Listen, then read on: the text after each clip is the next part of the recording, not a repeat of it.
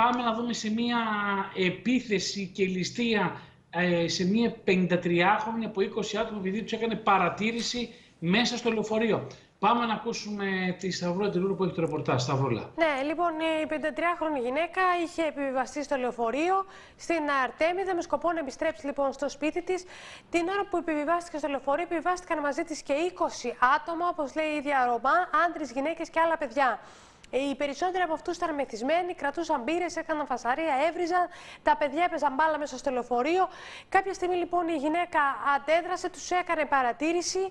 Αυτοί την έβρισαν. Η ίδια ενημέρωσε την αστυνομία, κάλεσε στο αστυνομικό τμήμα Παλίνης, ενημέρωσε ότι υπάρχουν μέσα στο λεωφορείο άτομα επικίνδυνα τα οποία ενοχλούν τον κόσμο. Όταν λοιπόν έφτασαν στο τέρμα με το λεωφορείο και ξεκίνησε η αποβίβαση των επιβατών, η 53χρονη όταν πήγε να κατέβει δέχτηκε μια επίθεση από μια γυναίκα Ρωμά που της ε, είπε ότι κάλεσε στην αστυνομία. Η ίδια είπε ότι κάλεσε την αστυνομία γιατί η κατάσταση είχε γίνει αφόρητη. Εκεί λοιπόν τη χαστούκησε, της άρπαξε το κινητό από το χέρι, της είπε ότι θα σε πάρουν τέσσερις από εδώ και δέχτηκε μια επίθεση από τα 20 άτομα, φραστική κυρίως. Της πήραν βέβαια και το κινητό. Στη συνέχεια η γυναίκα κατάφερε να ξεφύγει, έκανε την καταγγελία στο αστυνομικό τμήμα και τώρα προσπαθούν μέσα από κάμερες να εντοπίσουν αυτά τα 20 άτομα προκειμένου να συλληφθούν. Μάλιστα.